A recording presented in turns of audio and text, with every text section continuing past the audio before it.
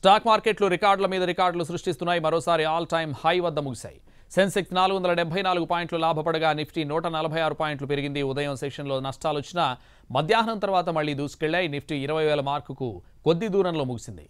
సెన్సెక్స్ కూడా all time record వద్ద ముగిసింది. ఎంఎఫ్సిజీ బ్యాంక్ ఫార్మా రంగాల షేర్లు రాణిస్తుండగా ఐటీ పవర్ సూచీలు నష్టాలు చూశాయి. స్టాక్ మార్కెట్లు రికార్డుల మీద రికార్డులు సృష్టిస్తున్నాయి. మరోసారి ఆల్ టైమ్ హై వద్ద ముగిశాయి. సెన్సెక్స్ నాలుగు వందల డెబ్బై నాలుగు పాయింట్లు లాభపడగా నిఫ్టీ నూట నలభై ఆరు పాయింట్లు పెరిగింది. ఉదయం సెషన్లో నష్టాలు వచ్చినా మధ్యాహ్నం తర్వాత మళ్ళీ దూసుకెళ్ళాయి. నిఫ్టీ ఇరవై వేల మార్కుకు కొద్ది దూరంలో ముగిసింది. సెన్సెక్స్ కూడా ఆల్ టైమ్ రికార్డు వద్ద ముగిసింది.